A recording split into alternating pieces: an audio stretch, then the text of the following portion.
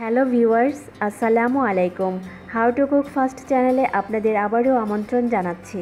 আজকে খুবই সহজ এবং ঝটপট তৈরি করা যায় এমন একটি রেসিপি আপনাদের সাথে শেয়ার করব। আজ আমি খুবই হেলদি একটা সালাদ করে দেখাবো। জি দর্শক, আমার আজকের রেসিপি সুইট কর্ন সালাদ। এই সালাদটি আমি প্রায়ই বানাই আর এই সালাদটির স্বাদ কিন্তু অসাধারণ।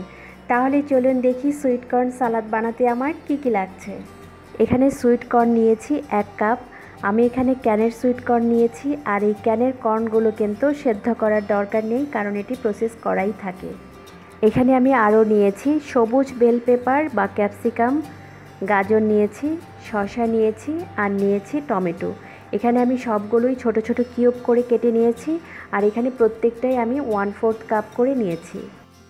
ছোট ছোট কিউব করে কাটা পেঁয়াজ দুই টেবিল চামচ, কাঁচামরিচ কুচি এক টেবিল চামচ ধনে পাতা কুচি, দুই টেবিল চামচ।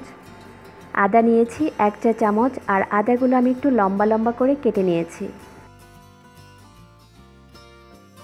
চিনি এক চা চামচ, লেবুর রস এক টেবিল চামচ, লবণ স্বাদ মতো।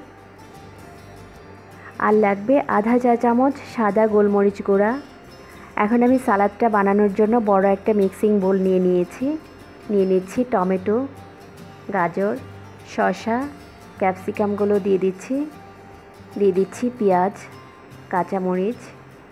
এখন সব কিছু একটা চামচ দিয়ে ভালো করে মিশিয়ে নিতে হবে। এখন আমি সুইট কর্নগুলো দিয়ে দিচ্ছি। দিয়ে দিচ্ছি চিনি, স্বাদ মতো লবণ, আর দিচ্ছি লেবুর রস। এখন আমি ধনে পাতাগুলো দিয়ে দিচ্ছি। অল্প একটু রেখে দিচ্ছি পরে দেওয়ার জন্য। এখানে আমি আধা চা চামচ গোলমরিচ গুঁড়া দিয়েছি। এখন সব কিছু খুব ভালো করে মিক্স করে নিতে হবে। দুইটা চামচ দিয়ে খুব ভালো করে মিশিয়ে নিতে হবে। আমার সালাডটা তৈরি হয়ে গেছে। এখন আমি একটা সার্ভিং প্লেটে ঢেলে নিচ্ছি।